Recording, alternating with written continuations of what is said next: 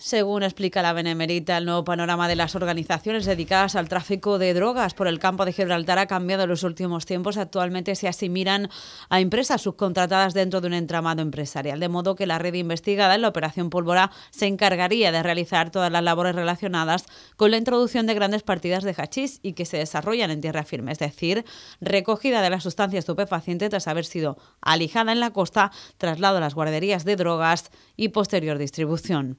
La operación Pólvora, desarrollada por la Guardia Civil, eh, es una operación contra una organización criminal que introducía hachís por las costas de Málaga y Cádiz. En el operativo se han detenido a 40 personas y se han incautado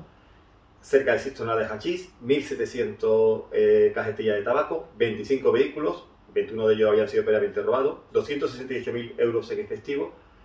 así como dos armas cortas y un arma larga. Por otro lado, se detectó que el modus operandi más utilizado por la organización en sus alijos por la playa de Puente Mayorga y Guadarranque consistía en el uso de embarcaciones neumáticas de pequeña eslora, que un nutrido grupo de personas votaban para realizar un transbordo de fardos de resina de hachís desde las potentes embarcaciones que cruzan el estrecho hasta los vehículos de carga.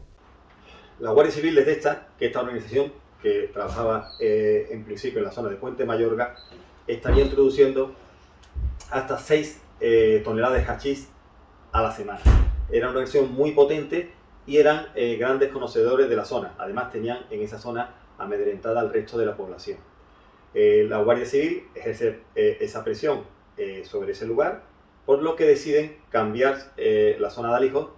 una zona, a una zona que también conocían bastante, que era la zona de Manilva en la provincia de Málaga. Los investigadores tuvieron conocimiento de que la red poseía en torno a una decena de guarderías entre las localidades de San Roque, la línea de la Concepción y Manilva para la ocultación del hachís y de los vehículos sustraídos. Al conocer tanto a las personas de la red como su relación con los alijos incautados, se solicitó al juzgado de instrucción número 1 de San Roque 31 registros en las localidades de la línea San Roque, Algeciras, Manilva y Málaga en los que participaron 300 agentes de las comandancias de las localidades mencionadas.